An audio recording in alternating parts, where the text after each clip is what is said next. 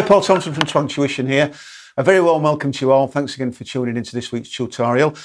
Um, and today I'm going to be doing a little tutorial on an acoustic version of the Foo Fighters classic Everlong.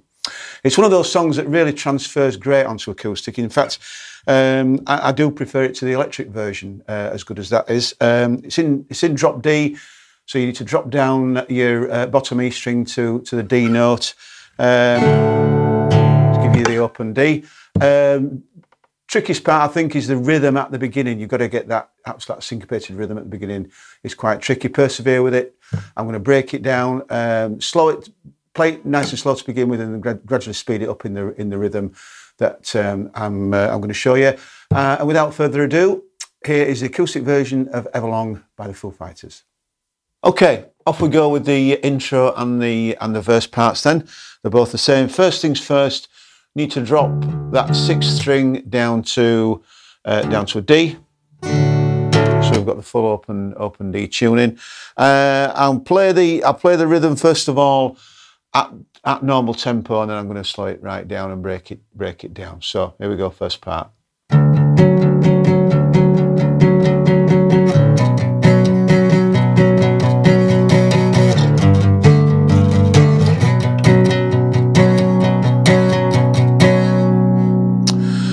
Okay, very very much of a syncopated rhythm. The first part is the trickiest part of a D major seven chord to a B a B sus two.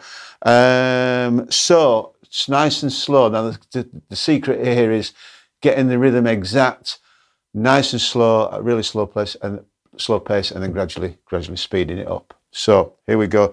Just watch carefully the rhythm parts of my right hand. Here we go.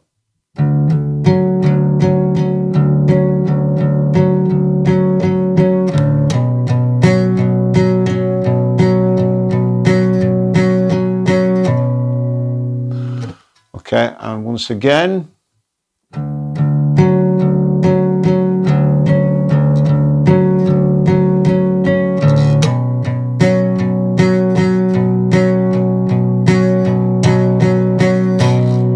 Okay, that's a, that's a tricky part. The next the next chord, which is a, a G sus two.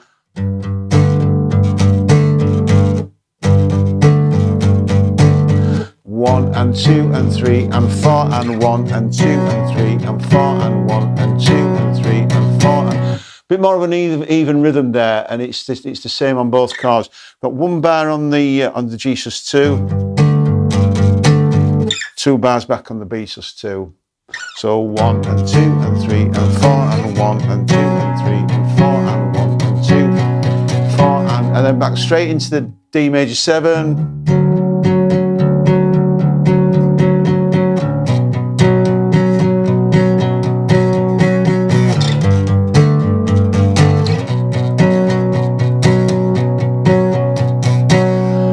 And that covers the the intro and the and the verse parts. Okay, so on with the octaves, uh, the the shall we call it the pre-chorus, uh, which are played uh, as as octaves, pedaling on that on that on that um, open open D, uh, that bottom sixth string as uh, as the D note. Okay, and we're going position wise. We're going fourth and sixth fret. I play this with my first and, and, and little finger. Some people I know prefer to play with the first and third. Uh, either either either or is good. So fir first position, fourth and sixth fret, fifth and third strings respectively. Move up a semitone, fifth and seventh fret, moving up a tone to the uh, seventh and ninth fret, another tone to the ninth and the eleventh fret, and then we've got a quick little movement from the 12th and the 10th. Okay, which I'll, I'll demonstrate in normal speed in, in a sec. so, um,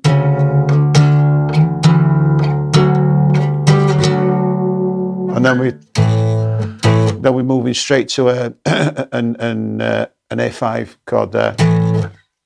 Uh, so I'll play it now. It's a normal speed, and I'll slow it down.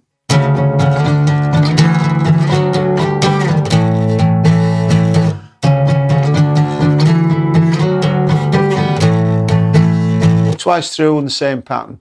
Now, um, there's three strums on each of those. It's kind of pushing ahead in front of the, the bar change. So what we don't want is, is, is equal four strums. So, so it's not one and two and three and four and one and two and three and four. And it's not that. It's pushing in front on on the on the last quaver.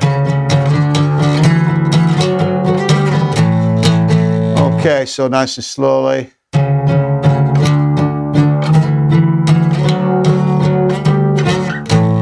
Quick little movement down to the um, down to the F5 twice through.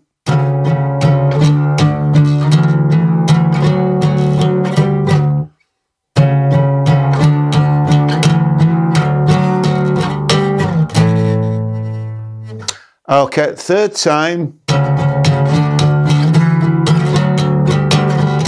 Go up to a B5. I'm barring those three bottom three strings there. Down to a G5. To the D5. Uh, a lot of the a lot of the tabs suggest going to the, the open E chord there. I prefer to play as a D5 there. Okay, so back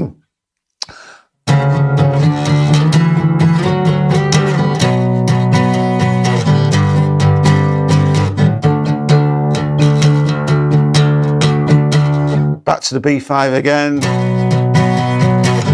G, D, B, G5, D, A. Now on this last chord, I'm playing a little uh, D5 power chord on the um, on the third and the second string there respectively.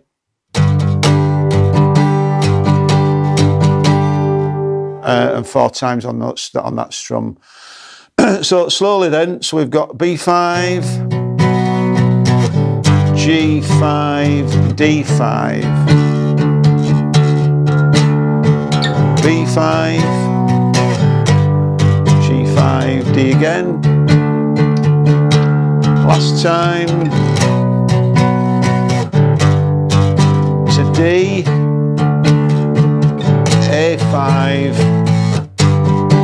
G5 with me full, with, with me uh, D shape power chord there. And then back into the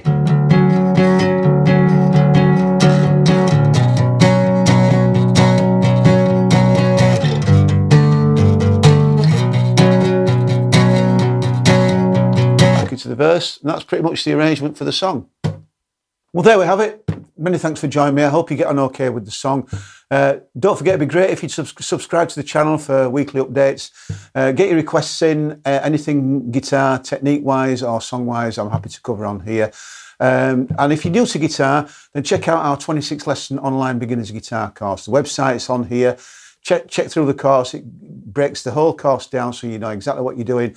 Covers all the elements to, uh, to, to playing guitar, whether it's acoustic or electric uh, solos, riffs, chord rhythms, uh, improvisation. Um, everything's everything's there covered. A little bit of theory as well, so you so you understand what you're doing and why you're doing it, which is most important. So check that out. Follow us on social media uh, as well: Facebook, Twitter, Instagram, all the rest of it. Thanks for joining me once again. I look forward to seeing you next week.